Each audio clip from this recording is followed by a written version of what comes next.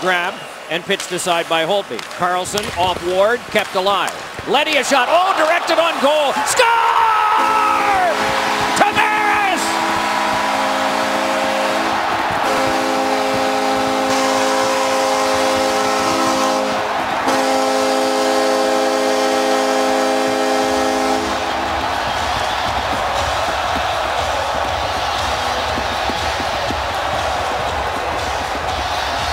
Bedlam. 2-1 Islanders. Well, off the opening faceoff, the Islanders are able to control it. Johnny Boychuk lets it go. Holtby doesn't hold on to it. He moves it to Carlson. Turnover. It's kept in by Leddy. The redirect. Great save from Holtby. And then from really a nasty angle, John Tavares beats Braden Holtby. But Holtby was off just a little bit, and it finds its way in behind the right side of Holtby and the post. That first save was outstanding, but John Tavares gets inside position on John Carlson and from a nasty angle, he wins it in overtime. Zibanejad, McCulloch and Ryan up there for Ottawa on the face-off. Puck moved out. Weise, waits, scores!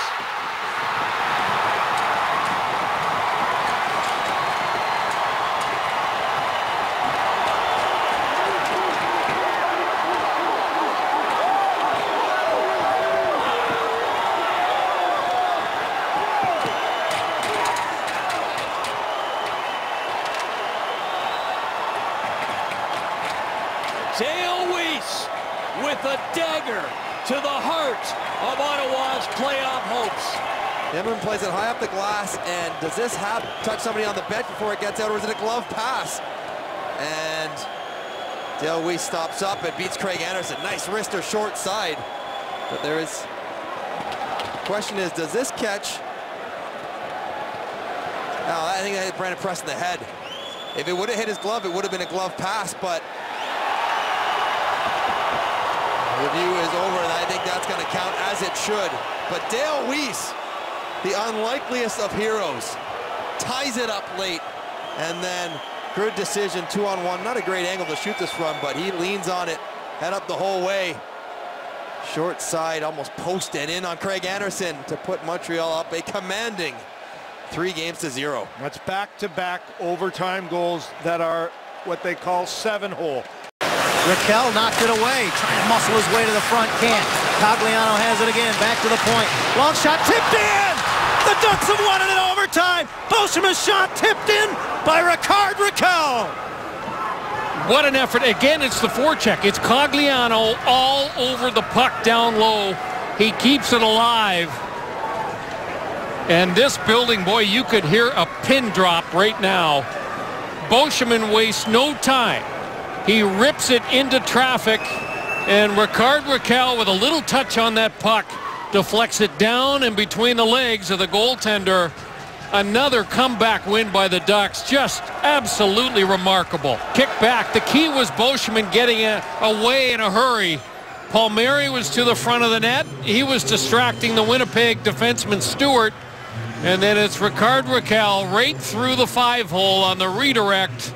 And Anaheim now with a commanding 3-0 lead in the series. What a game. This was just one of the great games, John, that we have seen in the playoffs in some time. Back and forth. Both goaltenders play sensationally. But Rickard Rakell from Beauchemin and Cogliano wins it in overtime. Ovechkin. He has eight shots on goal in the game. Backstrom. Tavares lost the step. Backstrom shoots. He scores! Nicklas Backstrom ties the series at two. But it all started off the face-off. Washington wins it. Ovechkin can't get it to the net. They keep the play alive. Backstrom's going to do a good job working one-on-one with Tavares, protecting the puck, protecting the puck, no stick. So there's not a lot Tavares can do. And eventually the puck finds its way. It's not hard, but it gets there. Backstrom did not score a goal the last 23 regular season games. He wins it for the Caps after Tavares lost his stick. So that silences the crowd here at Nassau Coliseum as the Capitals even the series at two. Game five at the Verizon Center in Washington. With Bickell heading to the Kane to the middle for Bickell. The redirect went right on net. And uh, right pad from Rinne. Now Patrick Kane goes back to Seabrook. He's going. Hawks win. Hawks win. Brent Seabrook with the Bryan Bickell screen in front of the net. The Hawks, a minute into the sixth period, have taken a firm grip on the series. They lead the series three to one. They win the game three two. Want to go back to how this play all started. The pressure that comes into this area here by Brad Richards. Turnover, right? Kane is there. Bickell comes in, interferes a little bit. That opens up some spacing. Good chance. A cycle below the goal line. Kane's got it. Brent Seabrook makes that presence. In a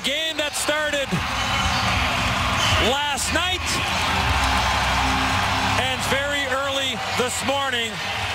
But a turnover in the middle of the ice, and Brent Seabrook lets this one go from the middle of the ice. And it's absolute bedlam here at the United Center. St. Louis there, canceled out by Lovejoy. It's taken along and handed on back to Hunwick. Then along to St. Louis. Moves out to the front. It across.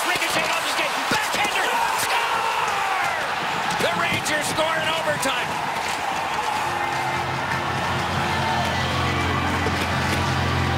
Kevin Hayes in overtime has ended the game, and the Rangers now have taken a 3-1 series lead.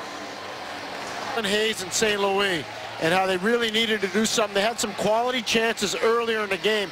Marty St. Louis on a wraparound. Hagelin has a chance. Hayes, the big body out of Boston College, doesn't quit on the play. A little push off on Paul Martin. That's going to create some separation, and he's just going to find the back of the net with the Pittsburgh Penguins looking for an opportunity that they'll never get.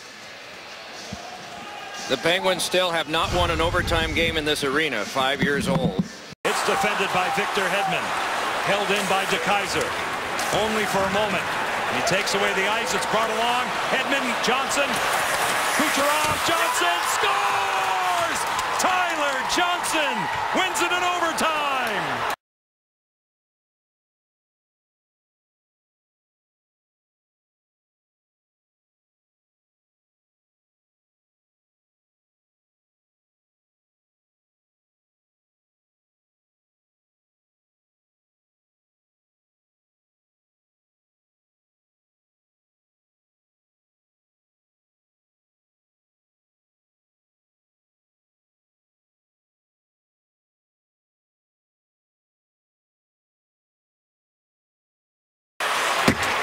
Shot lifted high. On it now is Moore. Spins back in the corner. Looking down low for Hagelin. Carl Hagelin walks it, but shoots. Goal! Carl Hagelin, the overtime winner. And the New York Rangers are on to the second round of the Stanley Cup playoffs.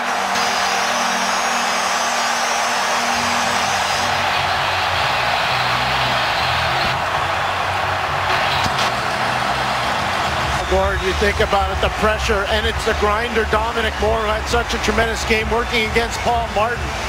And look at the speed and the quickness of Hagelin creating that separation. No switch call between Lovejoy and Crosby. Crosby was trying to help out for Martin, and that's when Hagelin creates that separation, and he just whips it right by Marc-Andre Fleury. Ryan McDonagh and Dominic Moore draw the assists on the goal at 10.52. The Pittsburgh Penguins deserve a ton of credit with that underman defense and the job that they did.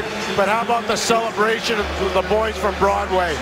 Scott Arniel, Alain Vigneault, Opie Samuelson. This was not easy. Royal ships turned aside by the stick of Price. Boyle for the puck again. Taken away by Patterin and then regained by Filppula. Across for Kucherov. He scores! Nikita Kucherov wins it for the Lightning. Seconds into the second overtime. This started with the shot by Brian Boyle that was kicked aside. And then Tampa Bay, here's the shot here. Tampa Bay doesn't give up on the play. They stay with it. Boyle, a great job down in the corner and gets some help, and Kucherov just comes off the bench, takes the pass on his backhand, gets it to the forehand, and all in one motion, wins it. What a shot. Good work by Tampa Low. Kucherov off the bench, and here he is. Backhand, forehand, that move just inside the far post. And Tampa, Tampa Bay wins game one on the goal by Kucherov, who was denied a goal in the first overtime. Back up for Brodie. Wideman works it up. Backlund, Wideman, they play catch. Backlund shoots, scores!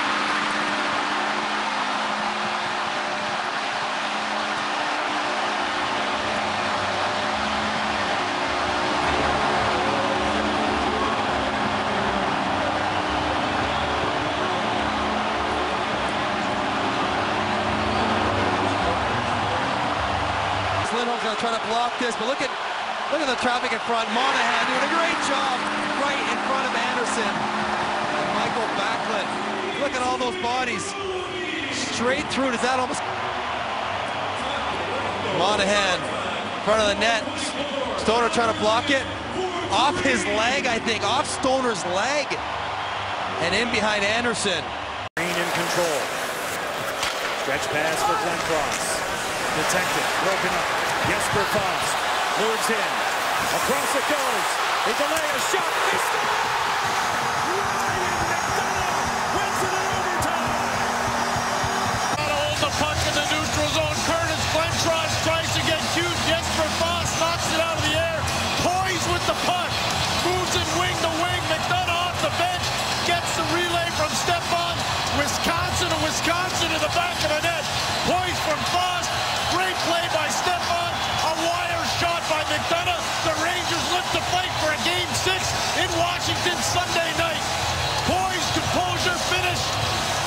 Game six. Ryan McDonagh, Chris Kreider. Look at the screen, Pierre. Taking away the vision path of Braden Holtby. The reaction from Henrik Lundqvist. And the New York Rangers march on to game number six. They win the ninth in a row in terms of elimination games here at Madison Square Garden.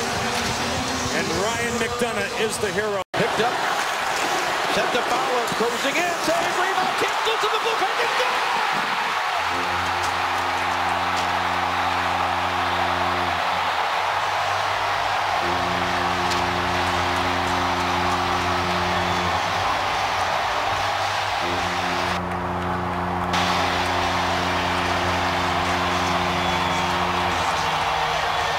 skating over and looking at the officials with his arms stretched out like, does that count or what?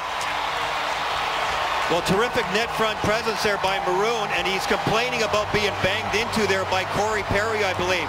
Watch Perry make contact with him here, oh, just enough to push him back. Perry's stick is there. Yeah. Maroon's stick is there. And Karri Ramo, you can see, is angry.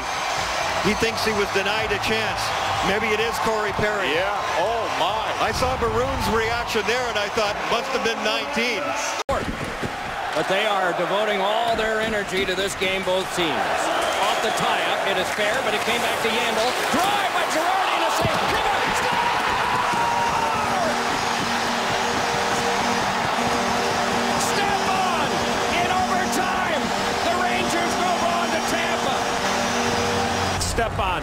Face-offs, talk about how important they are. Going into overtime, the Rangers had only won 36%.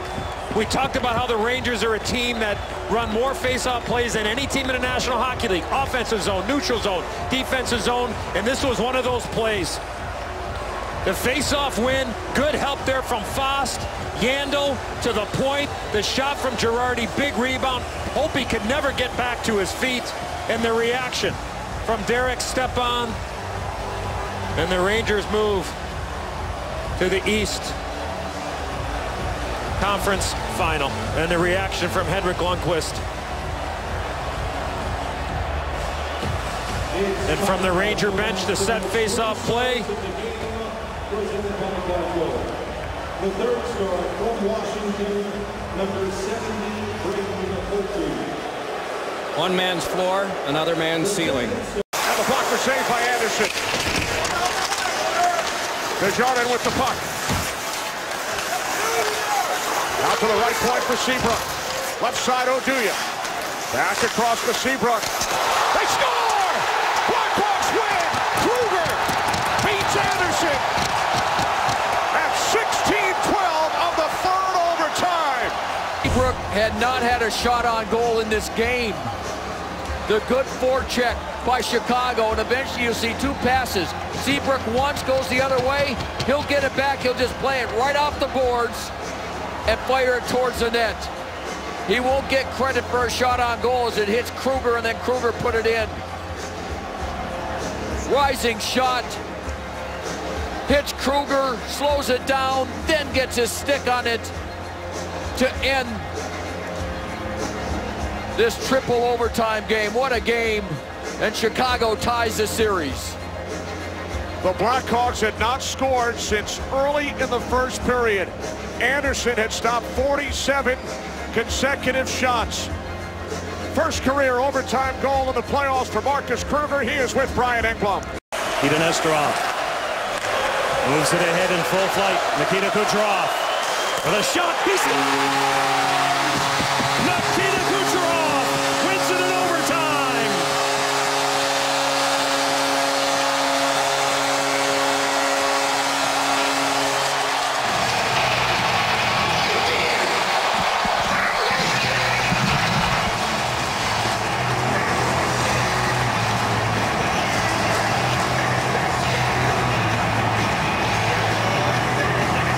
The breakaway, Lundqvist denies.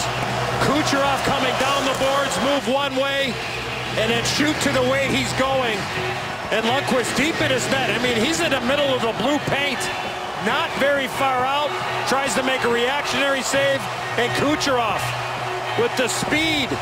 The left-handed shot coming down the right wing boards, cuts to the middle of the ice. And Lundqvist is on a losing end again.